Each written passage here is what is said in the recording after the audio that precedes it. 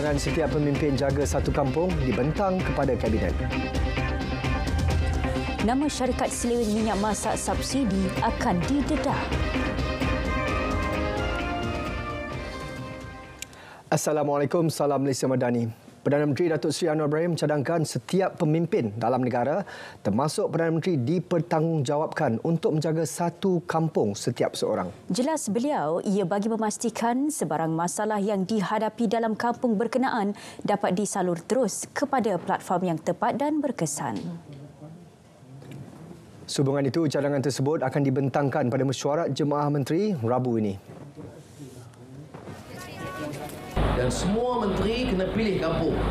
Kampung asal dia kampung mana dia pilih satu kampung dan semua masalah dia kena tahu. Ni dia jaga kampung.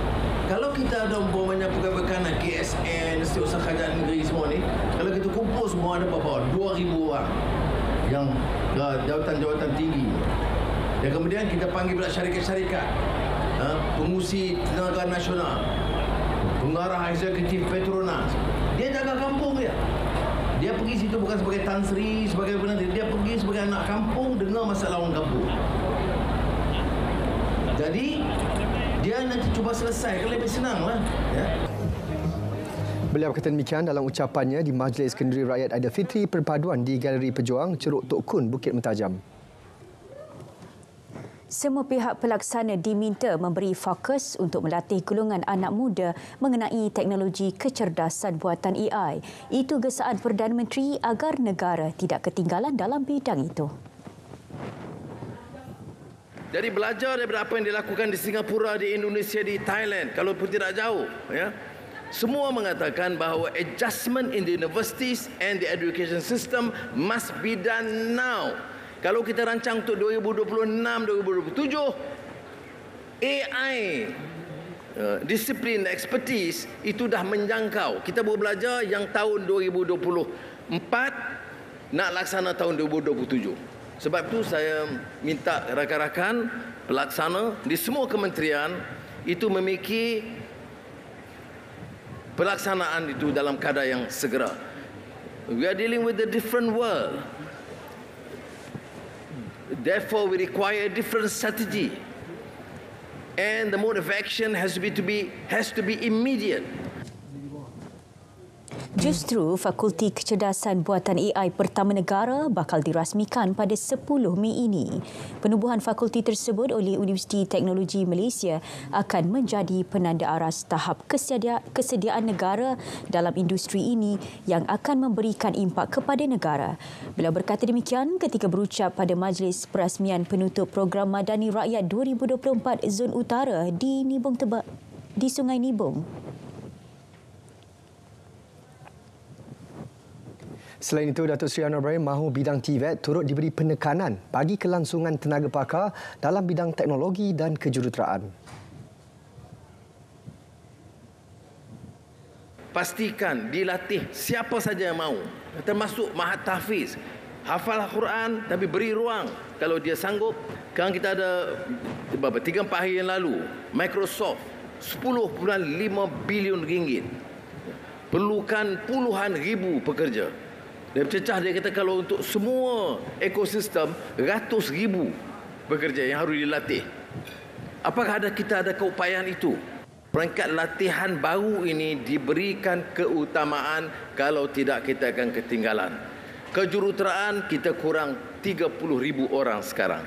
Matematik dan sains anak-anak kita dah mula kurang minat dia. Ha. Ini saya tekankan kepada Kementerian Pendidikan macam mana pun harus ditekankan, dipaksa supaya ada peralihan itu segera. Kerajaan Perak bersetuju membekalkan air kepada Pulau Pinang melalui Taman Perindustrian Hijau Bersepadu Kerian ke seberang perai. Perdana Menteri Datuk Seri Anwar Ibrahim berkata perkara itu dipersetujui Sultan Perak Sultan Nazrin Shah dan Menteri Besar Perak Datuk Seri Sarani Muhammad. Menerima berita baik kerana tuanku Sultan Nazrin uh, Perak dan kerajaan negeri saudara Datuk Seri Syahrani bersetuju untuk uh, menyediakan bekalan air dari Sungai Perak dan mengalir melalui Krian industri hijau Krian dan sekurang-kurangnya ke seberang perai. Fasa pertama akan sampai ke seberang perai uh, masuk Nibung Tebal dan Sungai Bakap. Menyentuh mengenai cadangan projek lapangan terbang di Kulim, Kedah, Datuk Seri Anwar berkata infrastruktur merentas bidang kuasa kerajaan negeri dan persekutuan mesti dibincang dengan teliti mengambil kira semua faktor. Dalam hal itu, Perdana Menteri berkata Menteri Pengangkutan Anthony Lok Siu Fuk baru-baru ini juga bersetuju untuk meneruskan rundingan.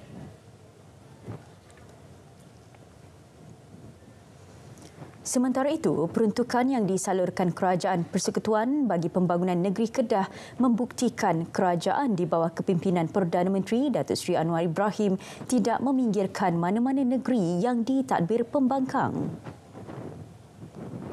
Ini terbukti apabila rakyat negeri itu melahirkan rasa gembira dan berharap peruntukan digunakan secara bijak dan telus.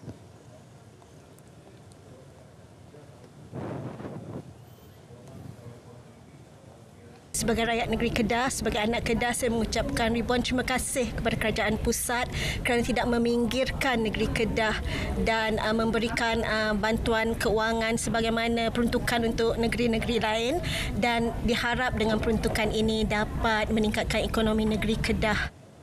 Ah, di mana saya mengharapkan peruntukan ini dapat digunakan untuk kita mempertingkatkan lagi uh, infrastruktur yang ada dan kemudahan-kemudahan yang ada untuk negeri Kedah Darul Aman. Saya uh, mengucapkan terima kasih kepada PMX uh, tentang uh, peruntukan yang apa yang yang disadukan dah. Okey, ya dapat melonjakkan uh, ekonomi negeri Kedah juga dan uh, membantu uh, rakyat negeri Kedah. Nama syarikat pembukusan semula minyak masak bersubsidi yang dikenal pasti terlibat dalam aktiviti penyelewengan akan didedahkan tidak lama lagi. Menteri Perdagangan Dalam Negeri dan Kos Sara Hidup KPDN, Datuk Armizan Muhammad Ali berkata, kesemua nama syarikat itu akan didedahkan sebaik laporan lengkap diterima. Ada negeri yang belum selesai lagi eh, audit tersebut dan eh, sebaik laporan itu sedia kita akan melaksanakan uh, apa pengumuman dan juga uh, tindakan yang perlu. Dalam tahun ini juga ke? Ya, dalam tahun ini. Dalam perkembangan lain, pihaknya memandang serius mengenai kempen anti sawit oleh negara luar. Oleh itu, beliau menyokong kerjasama rentas kementerian dan agensi dalam menangani diskriminasi ke atas produk sawit itu. Selain menyokong cadangan agar Jabatan Kastam melakukan penguatkuasaan lebih tegas menghalang kemasukan produk dengan label anti minyak sawit di sempadan negara. Perjanjian kontrak dan memorandum persefahaman MOU bernilai 8.1 bilion ringgit bakal dimeterai Kementerian Dalam Negeri dan Kementerian Pertahanan bersama pemain industri pertahanan. Ia bakal dilaksana pada Pameran Perkhidmatan Pertahanan Asia DSE 2024 dan Pameran Keselamatan Kebangsaan Asia NATSEC Asia 2024 yang bermula esok hingga 9 Mei. Menteri Pertahanan berkata kementeriannya akan memeterai kontrak dan MOU bernilai 6 bilion manakala 2.1 bilion lagi membabitkan kontrak KDN. Lebih kurang 2. 2.1 eh 2.1 bilion melibatkan 14 14 kesemuanya. Acara ini akan menjadi platform yang mempertemukan uh, the best brains uh, uh, di kalangan uh, semua stakeholders dalam industri pertahanan. Di sinilah nantinya akan berlaku business matching, uh, pertukaran ideas dan mempelajari uh, semua perkara yang terkait dengan penemuan inovasi-inovasi baru. Beliau bercakap pada sidang media selepas meninjau persiapan DSE 2024 di Pusat Pameran Perdagangan Antarabangsa MITEC di Kuala Lumpur. Pertubuhan Kerjasama Islam OIC perlu memainkan peranan penting dan berdiri teguh membela Palestin dan warganya dengan bertindak menyebarkan keamanan dan menegakkan sistem keadilan antarabangsa. Kenyataan negara berhubung isu Palestin itu disampaikan oleh Menteri Luar Datuk Seri Muhammad Hassan pada sesi ke-15 sidang kemuncak OIC di Banjul, Gambia. Therefore, continue working relentlessly with like-minded countries in pursuit of our key priorities. Number one, institute an immediate and permanent ceasefire. Second, establish safe and unhindered access to deliver of aid, delivery of aid. Third, ensure accountability for violations of international law. And lastly, admission of Palestine as a full member of the United Nations, its rightful place among the community of nations that long have been denied. We must not let any.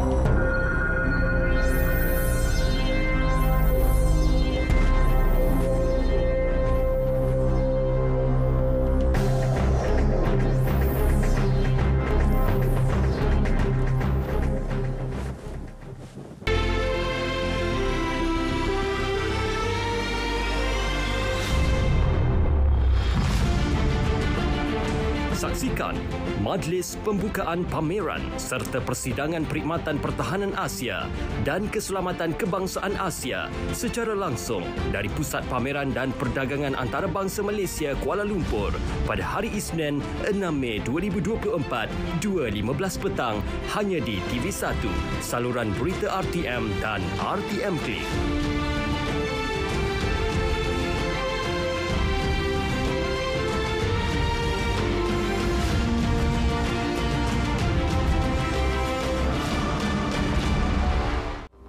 Terlepas dari siaran program-program menarik di RTM, jom saksikan semuanya di RTM Klik. Bertemu kembali. Kenaikan gaji baharu penjawat awam akan dibuat berdasarkan kaedah penilaian prestasi serta tahap kecekapan penjawat awam. Perdana Menteri berkata, kaedah itu bagi memastikan hanya penjawat awam yang layak dan mempamerkan prestasi cemerlang sahaja akan menikmati kenaikan berkenaan. Tidak benar kalau orang katakan kita naikkan gaji dengan kekalkan kaedah yang ada. No. Kita naikkan gaji dengan reform of the civil service dari segi tahap efisiensi dari segi umpamanya keupayaan mereka meningkatkan prestasi kerja dan amal mereka. Dan ini akan diumumkan sekaligus dengan sistem persaraan supaya pemilihan itu berdasarkan prestasi. Kita akan perkenalkan kaedah supaya mereka dinafikan. Tidak adil orang bekerja betul-betul lumus dia dapat kenaikan orang yang malas dan lembab pun dapat kenaikan secara automatik jadi harus diberikan pertimbangan itu Jelasnya, pelaksanaan gaji baharu itu juga bakal mengubah lanskap perkhidmatan awam ke tahap yang lebih efisien dan cemerlang. Semua pihak diingatkan agar mengawal diri ketika berkongsi isu berkaitan raja, agama dan kaum 3R. Timbalan Perdana Menteri Datuk Seri Dr. Ahmad Zaid Hamidi berkata terlalu banyak berita sedemikian jadikan polemik dalam pelbagai platform pada masa kini.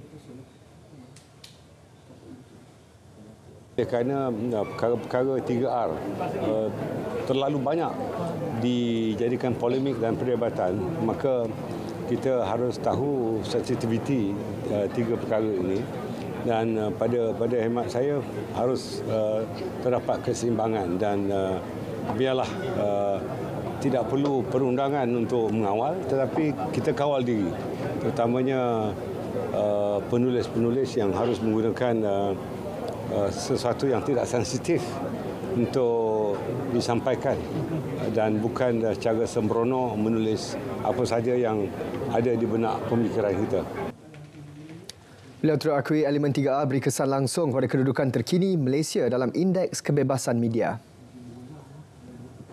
Kali ini uh, pihak Kementerian Komunikasi dan Digital, uh, Kementerian Pendidikan dan Kementerian Pendidikan Tinggi boleh uh, melakukan sesuatu yang lebih baik agar uh, soal uh, kebebasan uh, media ini dapat dipertingkatkan semula. Kilang padi pertama di Langkawi akan dibangunkan tahun hadapan. Kilang bernilai 8.9 juta ringgit itu bakal dibina di Kampung Bukit Hantu Ulu Melaka. Menteri Pertanian dan Keterjaminan Makanan Datuk Seri Muhammad Sabu berkata, kilang dikendalikan bernas itu berupaya memproses semua jenis padi sekaligus memastikan keterjaminan bekalan makanan negara.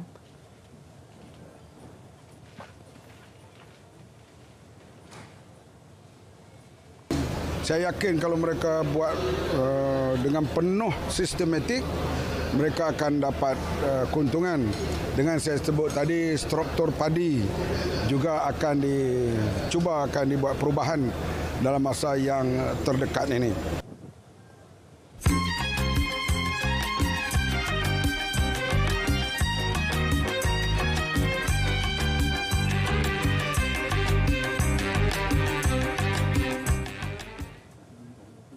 Hak untuk mengundi perlu dimanfaatkan sebaiknya golongan belia. Tugas demokrasi itu perlu dilaksana dengan bijak demi kemajuan masyarakat setempat.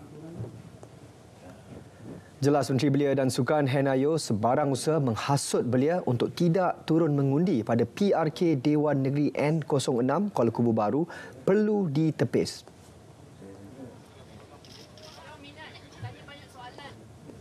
Boykot ini adalah usaha yang tidak membina apa-apa. Dia adalah suara pasif, suara negatif, jangan buat apa-apa. Kita semua tahu kalau kita nak membina semula, kita nak buat apa pun, kita kena aktif. Keluar, gunakan hak itu untuk mengundi. Itu sebab kalau mereka duduk di rumah, pasif, boykot, dia tak akan menukar nasib apa-apa. Okey, jangan buang hak itu. Jadi ahli Dewan Negeri Beliau berkata demikian semasa menyantuni anak muda dan masyarakat orang asli di Kampung Buluh Telur. Hadir sahabat calon Pakatan Harapan bagi PRK N06 Pang Sok Tau.